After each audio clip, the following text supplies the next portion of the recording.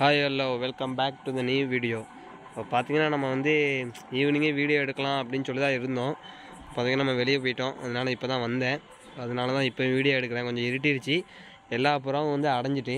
பார்த்தீங்கன்னா இப்போ நம்ம என்ன பார்க்க போகிறோம் அந்த வீடியோவில் அப்படின்னு சொல்லிட்டு பார்த்தீங்கன்னா நம்ம கீழே வந்து மயில் புறா அண்டு முஸ்கி ரெண்டு கிடக்குது.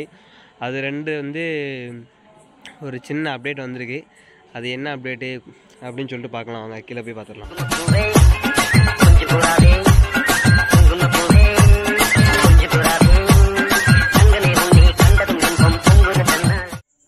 இப்போ வந்து பார்த்தீங்கன்னா நம்ம வந்து கீழே வந்துட்டோம். கீழே வந்துட்டு இப்போ வந்து பார்த்துடலாம் என்ன அப்டேட்டு அப்படின்னு சொல்லிட்டு. இப்போ ஃபஸ்ட்டு இப்போ வந்து பார்த்தீங்கன்னா நம்ம மேலே பார்த்துடலாம் மேலே வந்து பார்த்தீங்கன்னா மயில்புறா வந்து அடுத்த வைப்பு ரெடி ஆயிடுச்சு அதாவது முட்டை வச்சிருச்சு. முட்டை வந்து ரெண்டு எக்கு வச்சுட்டு ரெண்டு எக்கு வச்சு இன்னும் ஒரு ஒரு வாரங்கிட்ட ஆகுது. ஆனால் அது பொரியதுக்கு இன்னும் ஒரு ரெண்டு வாரங்கிட்ட இருக்கும்னு நினைக்கிறேன். ஸோ வந்து இதில் வந்து ரெண்டு முட்டை இருக்குது அது ரைஸாக ஊட்டி உங்களுக்கு நான் காமிக்கிறேன். இப்போ பார்த்தீங்கன்னா பையன் கூட ரொம்ப கொஞ்சம் இதாக இருக்காப்புல. இது வந்து கொஞ்சம் பரவாயில்ல. கோஆப்ரேட் பண்ணுது. அது பார்த்தீங்கன்னா ரெண்டு முட்டை இருக்குது வெயிட் பண்ணி தான் பார்க்கணும். அந்த ரெண்டு முட்டை பொரியுதா பொரிஞ்சு ப்ளஸ் வந்து அதை வந்து எப்படி வளர்க்குது அப்படின்னு சொல்லிட்டு தான் நம்ம பார்க்கணும். ஏன்னா வந்து முட்டை பொரியிறது கூட நமக்கு பிரச்சனை இல்லை. பதினெட்டு நாள் கரெக்டாக மாறி மாறி இடையில உட்காந்துரும் ரெண்டுமே. உட்காந்து கரெக்டாக பன்னெண்டு நாள் வந்துடும் ப்ளஸ் அது வந்து மயில் புறா அப்படிங்கும்போது கரெக்டாக அது வளர்க்கணும். ஏன்னா அந்த அளவுக்கு கரெக்டாக சேஃபாக கொண்டு வந்து இதாகணும்ல. அதுதான் பிரச்சனை. தவிடால் அப்படிங்கும்போது நீட்டாக வளர்ந்துரும். அது வந்து இறை வந்து நிறைய ஃபீட் பண்ணணும் மயில் புறா அப்படிங்கும்போது. கொஞ்சம் டைம் ஆகும் வளர்கிறதுக்கு கிட்டத்தட்ட ஒரு ஒரு மாதம் அப்படிக்கிட்ட ஆகும் தான் நினைக்கிறேன். நம்ம வந்து நல்லா ஃபுட்டு அந்த டைமில் மட்டும் ஃபுட்டு நல்லா ஃபுட்டு போடணும். நம்ம எவ்வளோக்கு எவ்வளோ ஃபுட்டு வந்து புறாக்கு போடுறோமோ அவ்வளோக்கு அவ்வளோ அதை வந்து குட்டியை வந்து ஸ்பீடாக வளர்க்கும். ஏன்னா இப்போதைக்கு போடுற மாதிரி நம்ம வந்து சிக்ஸ் வந்ததுக்கப்புறம் போடக்கூடாது. அப்படி போட்டோம்னா சிக்ஸ் வளர்கிறதுக்கு ரொம்ப நாள் ஆகும். அதுக்கப்புறம் பார்த்தீங்கன்னா வைப்பு வந்து உங்களுக்கு வந்து டிலே ஆகிட்டே இருக்கும். அடுத்து அது எக் வைக்கிறதுக்கு வந்து கொஞ்சம் டைம் எடுத்துரும். சரி ரைட்டு ஓகே மேலே பொறுத்த வரைக்கும் பார்த்தீங்கன்னா ரெண்டு எக்கு வச்சுருக்கு. வச்சு அது போக பார்த்தீங்கன்னா அடையில் வந்து கரெக்டாக உட்காருது. நான் வந்து பார்த்தீங்கன்னா எக்கு போடும்போது இந்த இடத்துல டப்பு ஒன்றுமே வைக்கலை. அதாவது பவுல் இந்த தட்டு ஒன்றும் வைக்கல. இந்த இடத்துல கரெக்டாக இந்த இடத்துல ஒரு முட்டை மட்டும் கிடந்துச்சு அதுவும் நைட் டைம் தான். ஒரு ஒம்பது மணிக்கிட்ட பார்த்தேன். சரி ரைட்டு பார்த்துட்டு அவனே டக்குன்னு இந்த தட்டை எடுத்து அதில் மண் வச்சு அப்படியே வச்சு வச்சுட்டேன். அதுக்கடுத்து பார்த்தீங்கன்னா அடுத்த முட்டை வந்து ஒரு ஒரு நாள் கழித்து போட்டுருந்துச்சி. இப்போ வந்து அடையில் கரெக்டாக உட்காருது. அதுக்கப்புறம் பார்த்திங்கன்னா ஈவினிங் வந்து திடீர்னு ஃப்ரீயாக இருந்தோன்னா நம்ம திறந்து விடுவோம். திறந்து விட்டோன்னு பார்த்திங்கன்னா இங்கே வந்து செம்மையாக மேய்ஞ்சிட்ருக்கோம் அதுக்கப்புறம் பார்த்தீங்கன்னா முயல் இருக்குல்ல முயல் கேஜுக்கிட்ட போய் தான் நிற்கும் ஆனால் முயல் ஒன்றுமே செய்யாது. அது பாட்டுக்கு தைரியமாக அங்கே போய் நின்றுட்டு அப்படியே அந்த கேஜியே பார்க்கும். அந்த கேஜியை பார்த்து உள்ளே போகுது பார்த்துட்ருக்கோம் சரி நம்ம அப்படியே போயிட்டு கீழே பார்த்துடலாம். கீழே வந்து என்ன எதிர் இருக்குது அப்படின்னு சொல்லிட்டு பார்த்துடலாம்.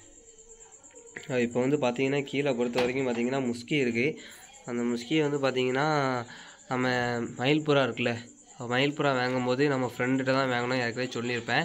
அவர்கிட்ட வாங்கும்போது அவர் வந்து ரெண்டு எக்கோடு தான் சேர்த்து நம்மளுக்கு தந்தார். அதாவது ப்ரோ அந்த முட்டையை நீங்கள் கொண்டு போங்க ஒன்றும் பிரச்சனை இல்லை எனக்கு வேண்டாம் அப்படின்னு சொன்னார். அந்த முட்டையை நாங்கள் வந்து வெறும் கையில் தான் வச்சு கொண்டு வந்தோம். ஒரு பாக்ஸும் இல்லை ஒன்றும் இல்லை. சரி ஒரு நம்பிக்கை தான். அந்த முட்டை பொரிஞ்சால் பொரியுது அப்படின்னு ஒரு நம்பிக்கை தான். ஆனால் கடைசியில் பார்த்தீங்கன்னா எப்படியும் நல்லபடியாக ரெண்டு சிக்குமே பொரிஞ்சிருச்சு.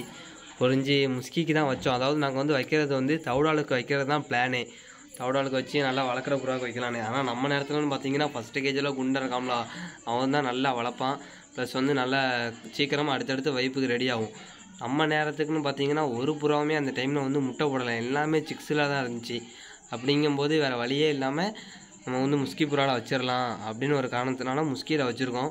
முஸ்கியில் வச்சு பார்த்தீங்கன்னா நம்ம வந்து டக்குன்னு மாற்றி விட்ரு மாற்றி விட்ருக்கலாம் அந்த மயில் புறாக்கு டக்குன்னு போட்டுருந்துச்சுல அந்த முட்டையை எடுத்து மாடியில் வச்சுட்டு இந்த முட்டை பொரியிற ஸ்டேஜில் டக்குன்னு அது குஞ்சுக்கு வச்சிடலாம் அப்படின்னு தான் பிளான் பண்ணோம். கடைசியில் பார்த்தீங்கன்னா அது வந்து மறந்துட்டோம்.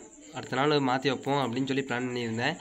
அதுக்குள்ளே மறந்ததுனால டக்குன்னு முஸ்கியிலேயே பொறிஞ்சிட்டு ஆனால் பொரிஞ்சதுக்கப்புறம் வந்து கொஞ்சம் அதில் வச்சேன்னா வழக்கமாக வளர்க்காதான்னு தெரியல. அது கொஞ்சம் டவுட்டு தான்.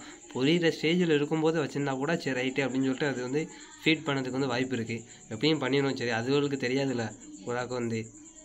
இப்போ வந்து பார்த்தீங்கன்னா ரெண்டு செக்கு இருக்குது அந்த ரெண்டு செக்கு பார்ப்போம் எப்படி இருக்குன்னு சொல்லிட்டு. பார்த்தீங்கன்னா அடிக்க தான். பார்த்தீங்கன்னா ரெண்டு செக்கும் சூப்பராக இருக்குது கொஞ்சம் ஓரளவுக்கு நல்லா வளர்த்துருக்குன்னு தான் நினைக்கிறேன். ஏன்னா நான் ஃபஸ்ட் நாள் பார்க்கும்போது ரொம்ப புடிசாக இருந்துச்சு. இப்போ பார்த்தீங்கன்னா ஓரளவுக்கு நல்லா இதாக இருக்குது அட்டி விழுந்துட்டு எனக்கு கசமட்டு ரெண்டு ஜிக்கு சூப்பராக இருக்குது இது வந்து ஃபீட் பண்ண பார்த்தீங்கன்னா கொஞ்சம் டைம் ஆகும். ஏன்னா இதோட சிக்ஸையே பார்த்தீங்கன்னா நம்ம வந்து காமிச்சிருப்போம். வீடியோ நிறைய வீடியோ நீங்கள் பார்த்துருப்பீங்க ஒரு இந்த கலரில் ஒன்று இருக்கும். அந்த கலர் வந்து பார்த்திங்கன்னா மிஸ் மார்க் ஆயிடுச்சு அதனால நெத்தியில் கரெக்டாக மிஸ் மார்க் வந்தது அந்த புறாவில் கலரில் உள்ளதை வந்து நல்லா வளர்த்துச்சு. அது வந்து அந்த சிக்ஸு வந்து பார்த்திங்கன்னா நல்லா இற கட்டுது.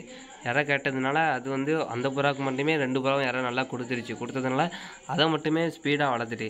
அதுக்கப்புறம் பார்த்திங்கன்னா இந்த கலரில் ஒரு குட்டி இருந்துச்சு. அந்த குட்டி வந்து பார்த்திங்கன்னா ரொம்ப பொடிசாகிடுச்சு பார்த்துக்கோங்க ஏன்னா அது வந்து இற ஒழுகி கேட்காம அப்படியே இருந்ததுனால அது ரொம்ப ஸ்லோவாக இருந்தது. ஸோ இப்போ கொஞ்ச நாள் கழித்து நம்ம வந்து ஒரு சிக்கை வந்து மாற்றி வைக்கணும்னு தான் பிளானு ஏன்னா ஒரு சிக்ஸை நம்ம இங்கே வைக்கணும்.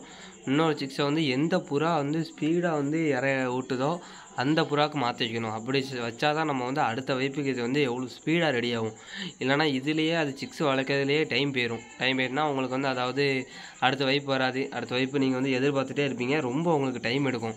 அப்படிங்கிற பட்சத்தில் நம்ம வந்து கொஞ்சம் மாற்றி வச்சுக்கலாம். அதாவது நம்ம வந்து ஒரு ஒரு செட்டு இது நல்லா வைக்கிற மாதிரி வச்சிடணும்.